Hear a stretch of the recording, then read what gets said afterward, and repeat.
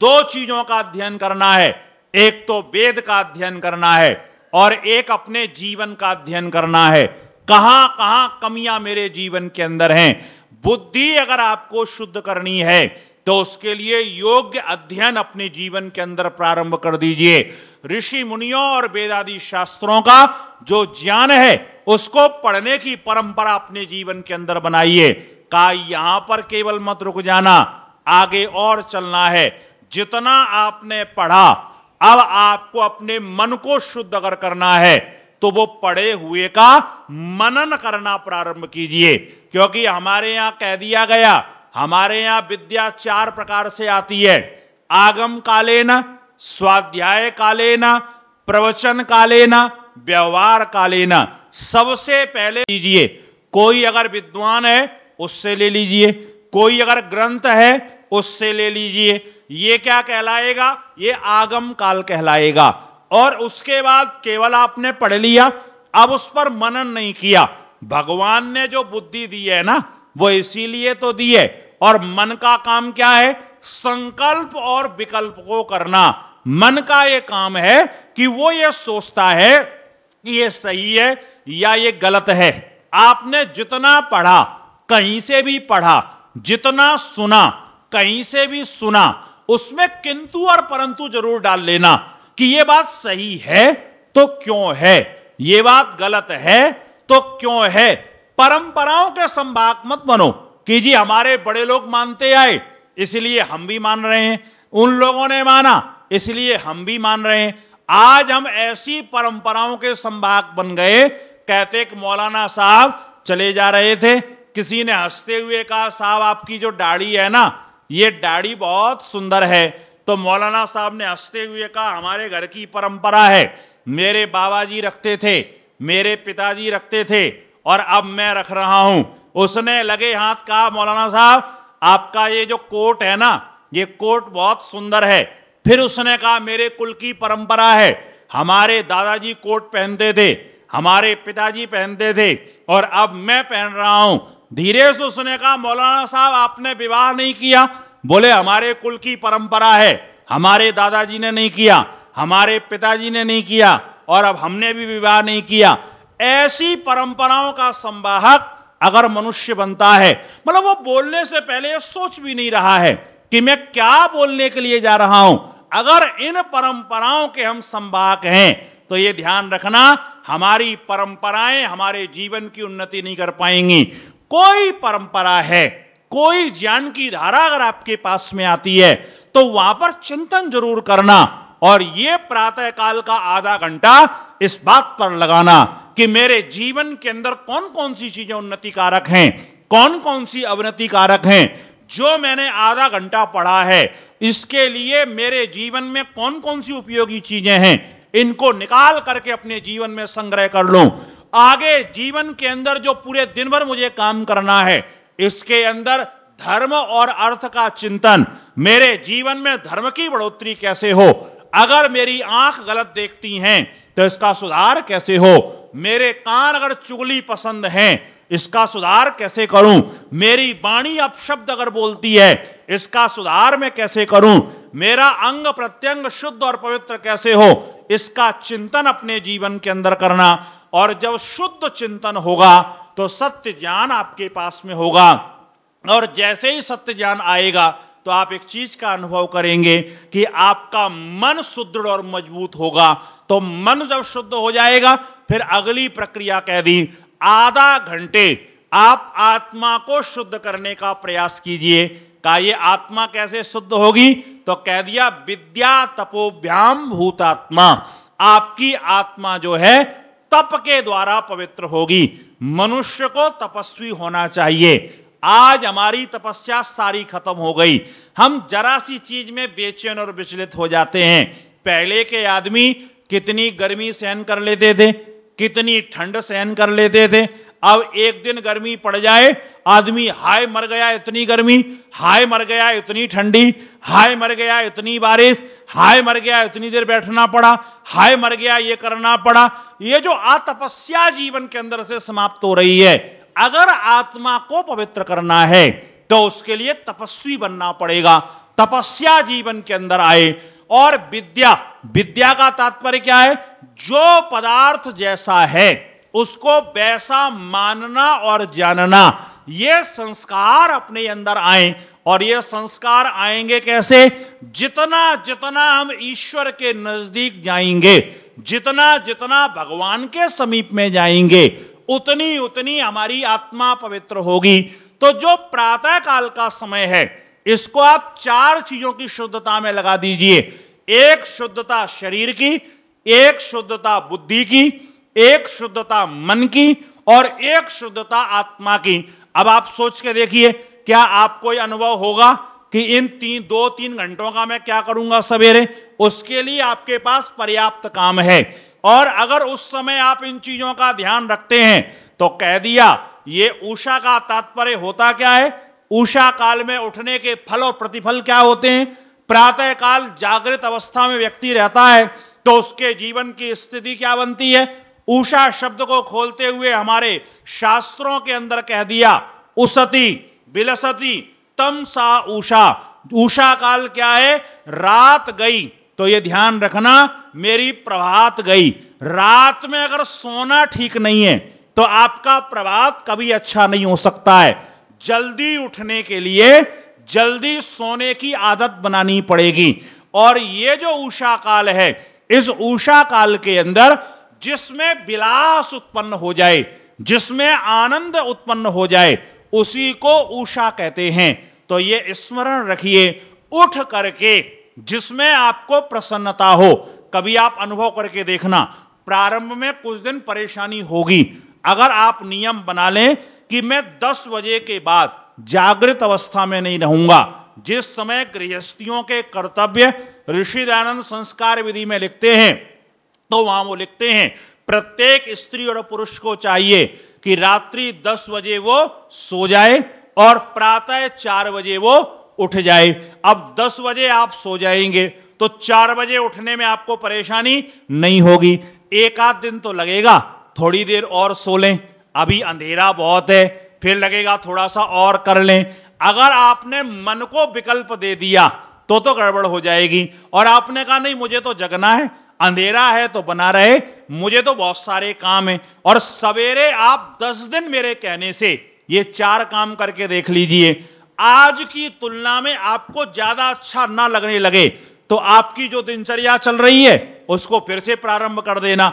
लेकिन आप अनुभव करेंगे, आपका पूरा दिन इतना अच्छा रहेगा, आपका मन बिल्कुल रिलैक्स रहेगा, आपकी बुद्धि हर काम में स्थिर होगी आपका शरीर हर काम को करने के लिए तैयार होगा। और अगर उषा काल तक, प्रातः काल आप नहीं उठे, सूर्य उदय के बाद तक सोते रहे, आपके पूरे दिन शरीर में आलस्य प्रमाद रहेगा। आपके चेहरे की जो वर्चस्वता, तेजस्विता है, वो सारी की सारी समाप्त हो जाएगी। आपके चेहरे के अंदर डलपना आना प्रारंभ हो जाएगा। सवेरे सूर्य का उदय होता हुआ जो व्यक्ति अपनी आँखों से देखता है, सूर्य की वो किरणें उसके जीवन की रक्षा करने वाली होती हैं। स्मरण ये रखना, हमारे यहाँ ये परंपरा थी। आप पुराने लोगों को देखिए, कोई व्यक्ति घर में बीमार भी होता था ना तो उसको भी सूर्य अस्त के समय और सूर्य उदय के समय सोने नहीं देते थे।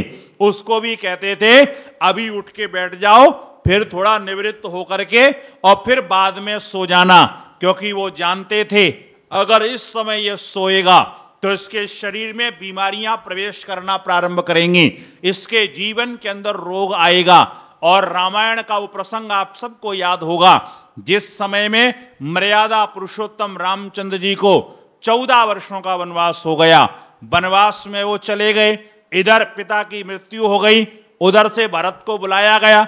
भरत जब अयोध्या में प्रवेश करते हैं तो इतिहासकार लिखते हैं कि वो देखते हैं कि अयोध्या के अंदर वो चमक पहले वाली नहीं है। लोग मुझे देख करके मुँह पलट ले रहे हैं। ऐसा तो कभी नहीं हुआ था। लोगों का मैंने कोई अहित तो नहीं किया है। ये प्रजा मुझे स्नेह भरी दृष्टि से क्यों नहीं देख रही है? क्योंकि एक चीज़ का स्मरण रखना, ये आँखें जो है ना, अंदर क्या चल रहा है? ये सब कुछ बता देती हैं। आप किससे प्रेम कर रहे हो? ये आँखें बता देंगी।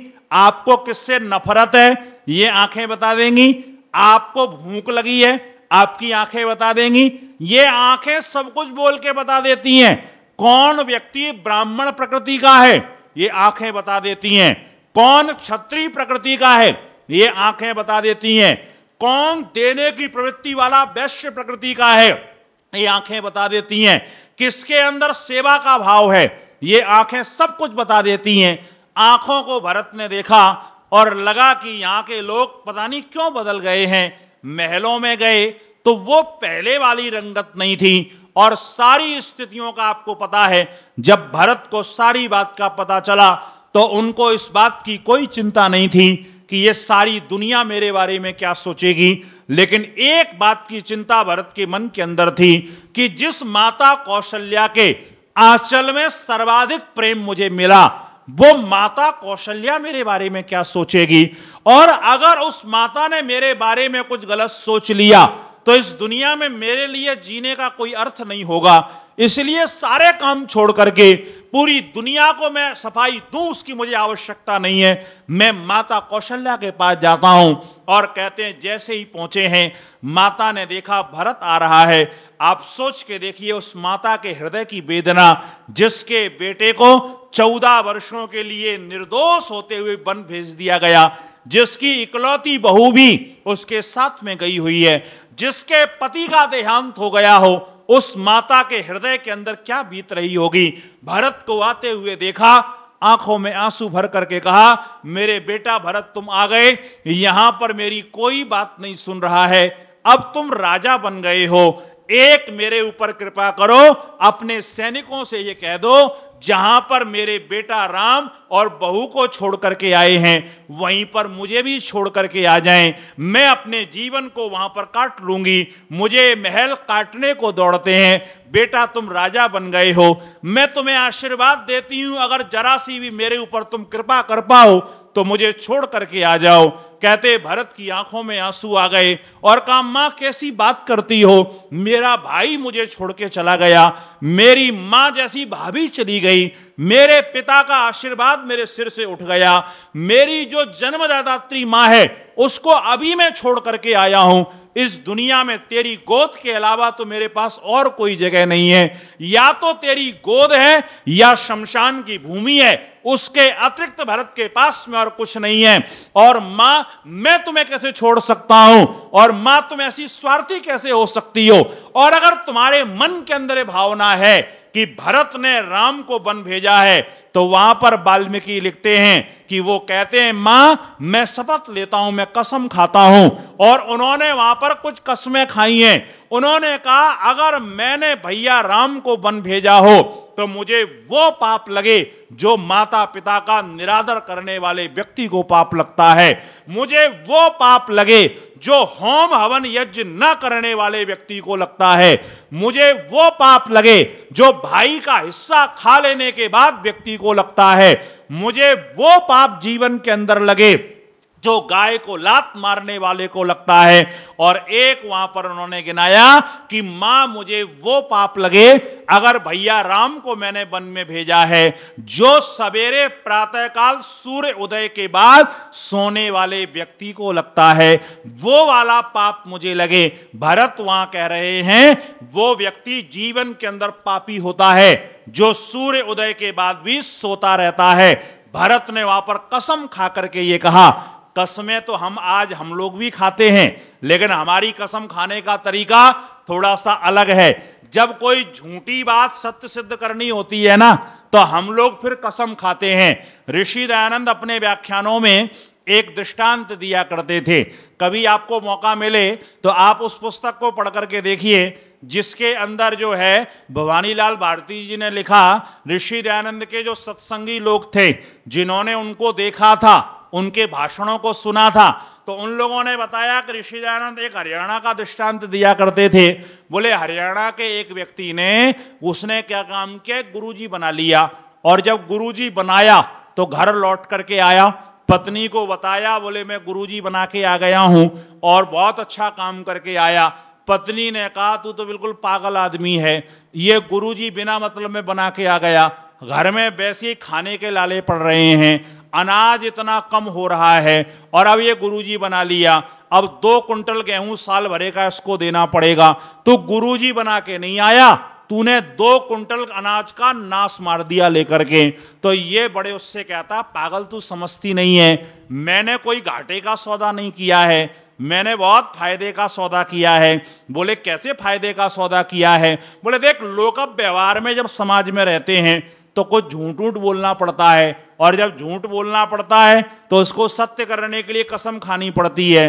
अब देख, मैं अगर झूठ को सही करूँ तो तेरी कसम खा नहीं सकता हूँ, क्योंकि तू मुझे बड़ी प्यारी है। मैं बच्चों की कसम खा नहीं सकता हूँ, वो मुझे प्यारे हैं। अपनी कसम खाई हो कहीं मर गया तो दिक्कत हो जाएगी। कम से कम ये गुरुजी कसम खाने के काम आता रहेगा।